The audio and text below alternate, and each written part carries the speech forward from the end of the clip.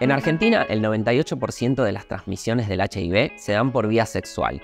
En estos casos, la utilización del preservativo es un método sumamente eficaz para reducir el riesgo o evitar la transmisión del VIH. También existen otras estrategias que utilizan medicación y que están apuntadas a poblaciones altamente expuestas a la infección.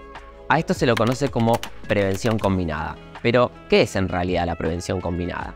Comprende una serie de estrategias que implican no solo el uso de esta medicación, sino también la realización de pruebas frecuentes para detectar el VIH y el resto de las infecciones de transmisión sexual.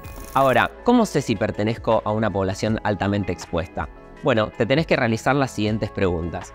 ¿Tuviste relaciones sexuales sin protección en los últimos meses? ¿Tuviste alguna infección de transmisión sexual? ¿Requeriste la utilización de profilaxis post-exposición para el VIH? Si la respuesta es sí para alguna de estas preguntas, sería recomendable que tengas una evaluación para ver si podés ingresar a un programa de prevención combinada. Si te gustó este video, suscríbete y danos un like.